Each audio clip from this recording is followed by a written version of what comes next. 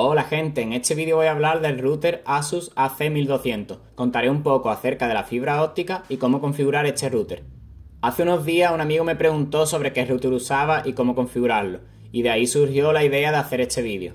Así que como siempre, comentaremos estos cuatro puntos. ¿Por qué elegí este router? ¿Cuánto pagué por él? ¿La calidad? Y con esto me refiero a especificaciones y cómo configurarlo, y si lo volvería a comprar. Antes de entrar en el punto 1, me gustaría aclarar un poco cómo funciona la fibra FTTH, o sea, la fibra hasta el hogar, puesto que mucha gente me pregunta sobre esto. Hace unos años estuve trabajando como técnico de fibra óptica, y es cuando empezó a implementarse los routers integrados, es decir, un router en el cual tenemos la ONT y el router. Esto en teoría es mejor puesto que gastamos menos electricidad al tener solo un aparato y además está todo como más recogido. Y bueno, a nivel doméstico se implementa bien, pero a nivel profesional aún se sigue usando la ONT. ¿Y por qué se sigue usando la ONT a nivel profesional? Pues generalmente, a nivel profesional, el router integrado que te pone las compañías se queda corto para poder gestionar bien las redes. Entonces es más cómodo para la empresa tener la ONT y poner ellos el router acorde a sus necesidades.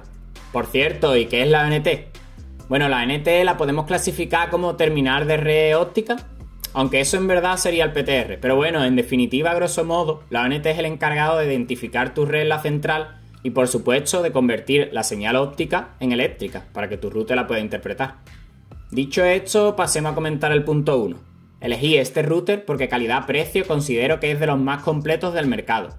Tiene doble banda, es decir, las bandas Wi-Fi de 2,4 GHz y 5 GHz, con posibilidad de hacer cuentas Wi-Fi de invitados. Incorpora un USB en el cual podemos colocar un disco duro para almacenamiento en la nube. Tiene una interfaz de uso realmente sencilla y también cuenta con una aplicación para el móvil para controlarlo todo aún más fácil. Podemos limitar velocidad de conexión e incluso pausarlas por un tiempo. Podemos usarlo de punto de acceso o puente. Y por supuesto las cuatro antenas externas, que son dos antenas para cada banda. Entraré más a fondo en todo esto en la parte de calidad.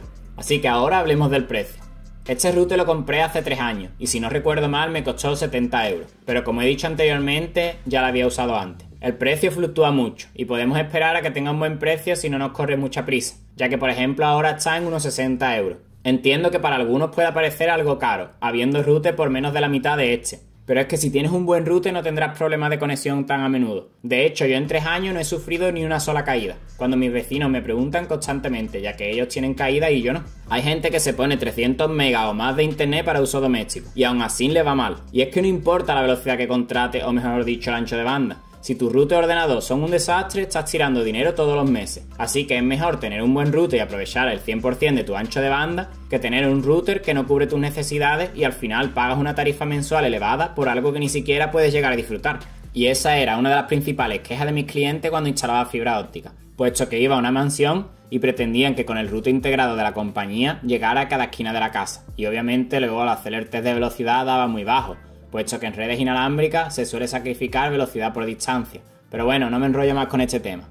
Vayamos pues al punto 3, la calidad, y analicemos este router. Bueno, y como podéis ver, yo tengo un ONT y el router Asus AC1200 que estamos comentando. Así que ahora entramos en el router para analizar y configurar algunas cosas. Cuando tenéis un router nuevo, normalmente hay una pegatina debajo del router con los datos de acceso. Obviamente es recomendable cambiar esto. Una vez dentro vemos que hay una actualización pendiente, así que procedemos a actualizarlo. Una vez hecho esto, como podemos ver, tenemos en este menú principal nuestra IP pública, nuestra encriptación y los dispositivos conectados. En el recuadro de System Status podemos observar tres pestañas. En la primera tenemos la red Wi-Fi de 2,4 GHz, en la cual podemos configurar el nombre que queremos ponerle, los modos de cifrado y la contraseña. Si pinchamos en la pestaña de 5 GHz, pues tenemos lo mismo para esta red Wi-Fi. Generalmente yo cuando configuro esta red siempre especifico en el nombre que es 5G, ya que hay muchos dispositivos que aún no funcionan con 5G y también porque generalmente la señal 5G pierde más información con la distancia. Así que para aparatos que no requieran mucha velocidad o por ejemplo la domótica, diría que es aconsejable usar 2,4 GHz en la mayoría de los casos. Y por último tenemos el status, bueno, que sería el estado, que básicamente es el uso que está llevando a cabo el router. Ahora nos vamos a la segunda pestaña que es Network, en la cual podemos crear hasta 6 Wi-Fi más, 3 de 2,4 GHz y otros 3 de 5 GHz. Como podéis ver, esto no es muy común en un router doméstico. Yo personalmente solo tengo una de 2,4 GHz para invitados. En el tercer apartado, Traffic Manager, podéis controlar el límite de tráfico y la velocidad del router, y también podéis hacerlo de cada aparato conectado a la red. Así, si tenéis un pequeño hotel o si por ejemplo tu hijo se come toda la red en descarga, podéis limitarle el ordenador para que al menos podáis disfrutar de Netflix al mismo tiempo. En la siguiente pestaña tenemos el control parental y en esta podemos limitar un tiempo de uso a cada terminal, con lo cual uniendo la pestaña anterior con esta podríamos tener una velocidad determinada por un tiempo determinado. Bueno, y en la última pestaña del uso doméstico, por así decirlo, tenemos las aplicaciones para el USB. En este apartado no quiero enrollarme demasiado, así que probaremos rápidamente la primera opción, que creo que es la más útil para un uso doméstico. Esta opción es para usar la aplicación de ASUS para compartir archivos, aunque básicamente es un servidor FTP.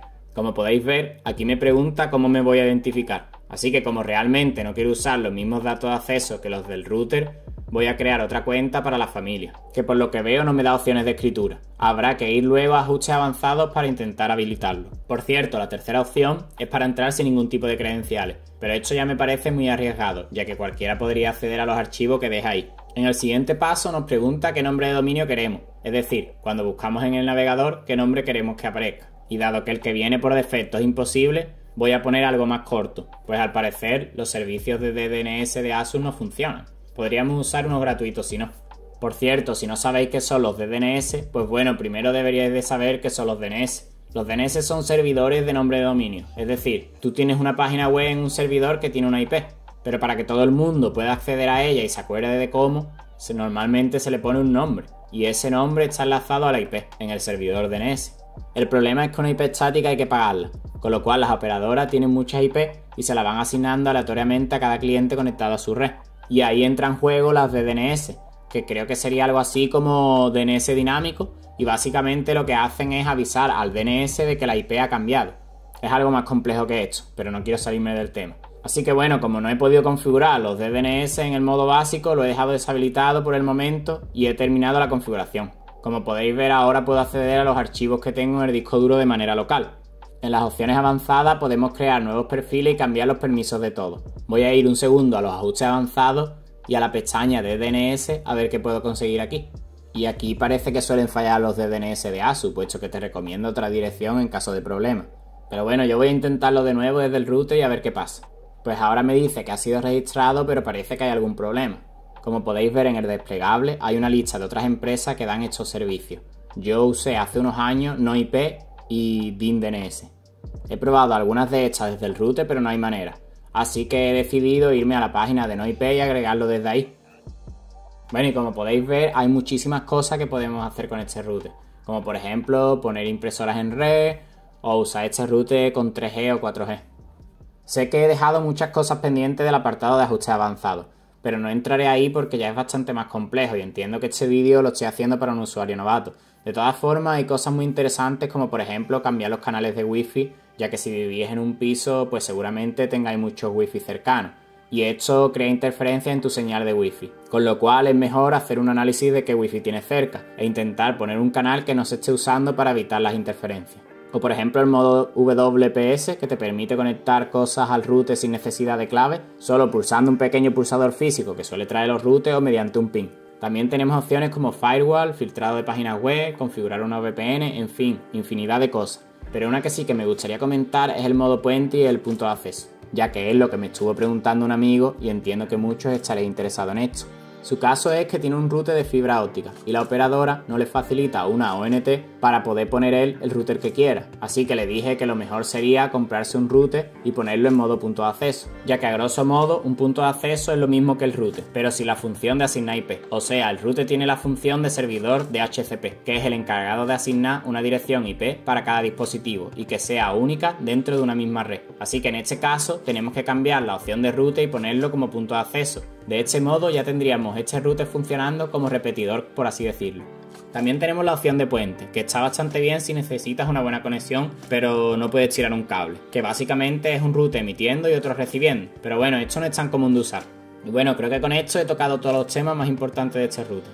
Bueno, y en cuanto al último apartado de si lo volvería a comprar, pues creo que no hace falta ni decir que sí. Estoy muy contento con este router, de todos los que he montado nunca he tenido ninguna queja.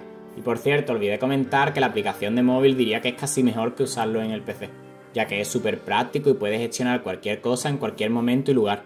Estoy encantado y sin duda por este precio es un coche que se amortiza en pocos meses. Bueno, y esto ha sido todo. Sé que ha sido un poco más denso de lo normal. Espero que os haya gustado y nos vemos pronto. Un saludo.